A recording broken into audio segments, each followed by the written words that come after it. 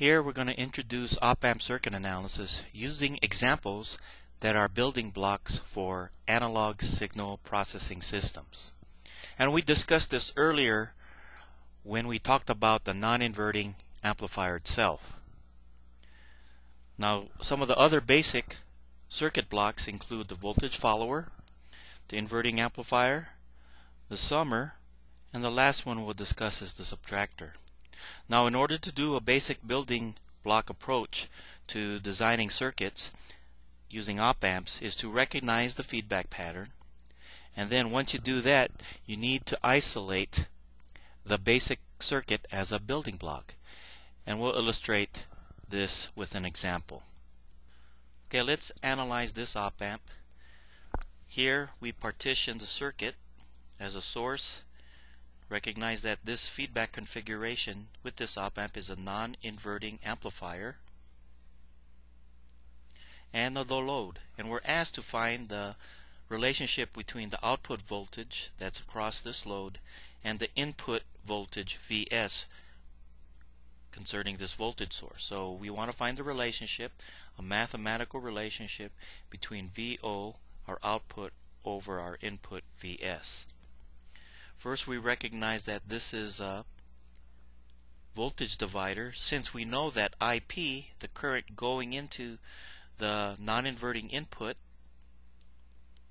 is equal to zero since it has infinite input impedance. So all of the current going through R1 is going to R2. So we can use the voltage divider to find VP. Once we know VP, we can find the relationship between VO and VS. So here VP using voltage divider is equal to our input source VS multiplied by a scale factor of R2 divided by R1 plus R2.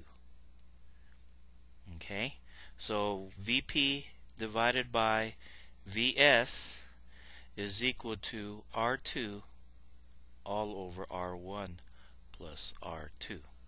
Now what's the relationship between VP and VO? Well, we recognize that this configuration is a non-inverting amplifier and we know that VO divided by VP is equal to 1 plus the feedback resistor R3 all over R4 in this example. Now we note we want VO over VS. Well, we can manipulate this saying that we already found the relationship between VO over VP and VP over VS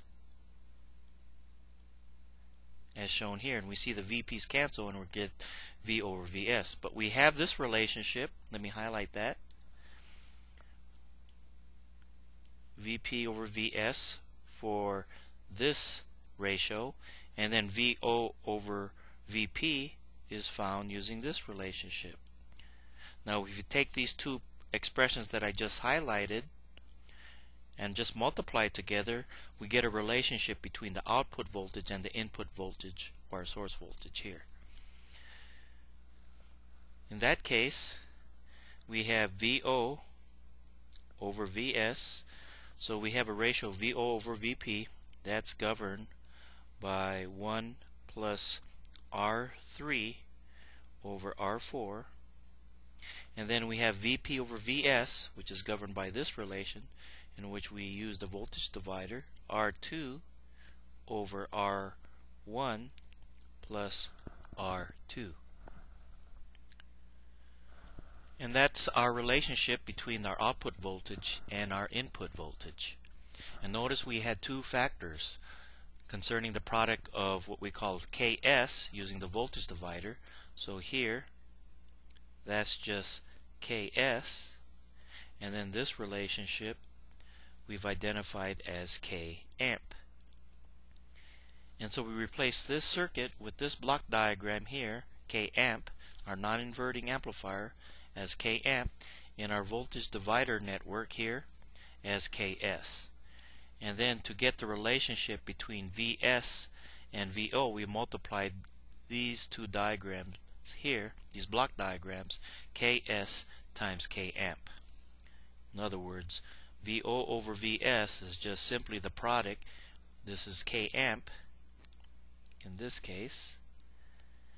And then this term is Ks to get the relationship between VO over Vs. So hopefully this example illustrates the process to using the building up block approach to first recognize the feedback pattern and then to isolate the basic circuit as a building block as we did here.